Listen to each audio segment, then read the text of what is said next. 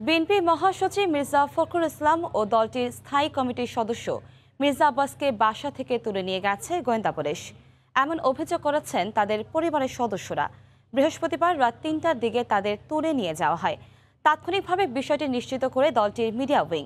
এদিকে কমলাপুর স্টেডিয়াম ও বাংলা কলেজ মাঠ পরিদর্শন শেষে রাতভর বৈঠক করেও সমাবেশের জন্য কোনো স্থান চূড়ান্ত করতে পারেনি নেতারা।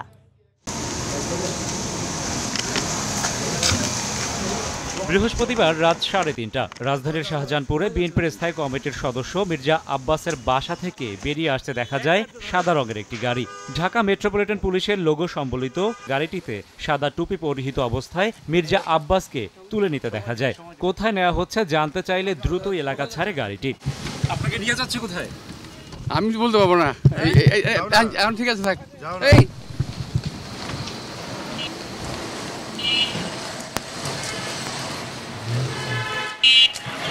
একই রাতে প্রায় একই সময়ে রাজধানীর উত্তরার বাসা থেকে তুলে নেওয়া হয় বিএনপি মহাসচিব মির্জা ফখরুল ইসলাম আলমগীরকে। তার স্ত্রী রাহাতারা বেগমের দাবি, রাত দশটা থেকেই বাসার আশপাশে সাদা পোশাকে অবস্থান নেয় আইন শৃঙ্খলা রক্ষা বাহিনী। পরে রাত সাড়ে তিনটার দিকে বাসায় ঢুকে তুলে নেওয়া হয় মির্জা ফখরুল ইসলাম আলমগীরকে। চার পাঁচটা গাড়ি নিয়ে নাকি ওরা রাত দশটা থেকে এখানে টহল দিচ্ছিল। আমি একটু শুনেছি।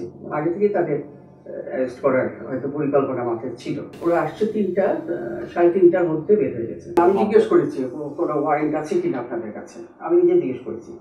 তখন ওরা বলছে যে দুই তিনটা মামলা নাকি হয়েছে, কাল পরশু।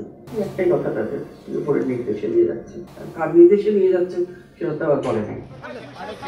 এর আগে মহাসমাবেশের জন্য কমলাপুর স্টেডিয়াম পরিদর্শনে যান মির্জা আব্বাসের নেতৃত্বে বিএনপি নেতারা। বৃহস্পতিবার রাত সাড়ে দশটার দিকে প্রতিনিধি দলটি ঘুরে দেখেন স্টেডিয়ামের বর্তমান অবস্থা।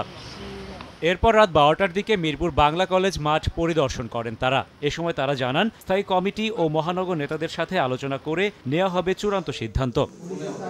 পরে মির্জা আব্বাসের শাহজাহানপুরের বাসায় বৈঠকে বসেন দলের সিনিয়র নেতারা। যে কোনো মূল্যে ঢাকায় মহাসমাবেশ হবে উল্লেখ করে রাত আড়াইটার দিকে মির্জা আব্বাস জানান, স্থান চূড়ান্ত করে দ্রুতই জানিয়ে দেওয়া হবে। দশ তারিখে আমাদের সমাবেশ হবে ইনশাল্লাহ শান্তিপূর্ণ একটা সমাবেশ হবে, যেখানে সবাই স্বতঃস্ফূর্তভাবে অংশগ্রহণ করতে পারবে। এর আগে বৃহস্পতিবার সন্ধ্যা সাতটার দিকে বিএনপির ভাইস চেয়ারম্যান বরকতুল্লাহ বুলুর নেতৃত্বে ছয় সদস্যের প্রতিনিধি দল ডিএমপি হেডকোয়ার্টারে পুলিশ কমিশনারের সঙ্গে বৈঠক করেন। দীর্ঘ তিন ঘণ্টার বৈঠকে বিএনপির পক্ষ থেকে সমাবেশের জন্য কমলাপুর স্টেডিয়ামের নাম জানানো হলে ঢাকা মেট্রোপলিটন পুলিশের পক্ষ থেকে মিরপুর বাংলা কলেজ মাঠ প্রস্তাব করা হয়। সর্বশেষ আমরা প্রস্তাব দিলাম কমলাপুর স্টেডিয়াম।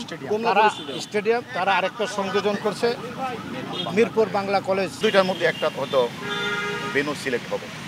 এবং আমি মনে করি ওনাদের সাথে বেনুনি যে একটা একটা দ্বিধাদ্বন্দ্ব ছিল, এটা আমি মনে করি কেটে যাবে।